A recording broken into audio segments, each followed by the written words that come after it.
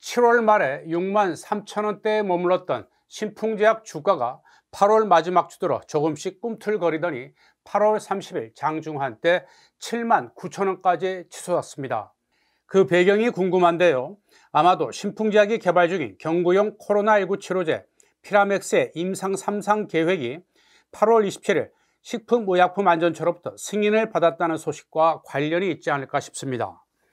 이번 3상 시험은 경증 또는 중등증 코로나19 환자 1,420명을 대상으로 하는데요.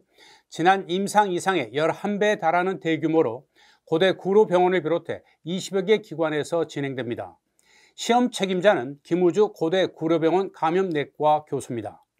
신풍제약 관계자는 임상 이상에서 피라맥스의 바이러스 억제 효과와 전반적인 임상 지표 개선 가능성을 확인했으며 이번 대규모 3상을 통해서 통계학적 유의성이 확보되지 못한 일부 지표를 입증하는 데 주력할 방침이라고 말했습니다.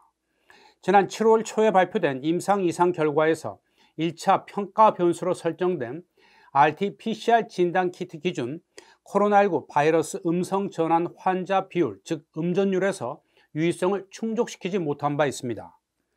피라맥스는 하루 일에 3일간 투여하는 경구 치료제로 2012년 허가 이후 국내외에서 말라리아 환자 약 200만 명에서 안전성이 입증된 약물로 기전상 변이 바이러스에도 큰 영향을 받지 않고 대응할 수 있을 것으로 회사 측은 기대하고 있습니다. 식약처의 3상 임상 승인과 함께 국내에서 대규모 환자 모집에 나선 신풍제약은 앞으로 글로벌 시판 허가 신청을 위해서 이미 임상이 진행 중인 필리핀뿐만 아니라 유럽과 남미 에서도 임상을 추진할 계획입니다. 이런 대규모 임상을 추진하려면 상당한 자금이 필요한데 신풍제약의 유동성은 충분하다는 것이 업계의 관측입니다.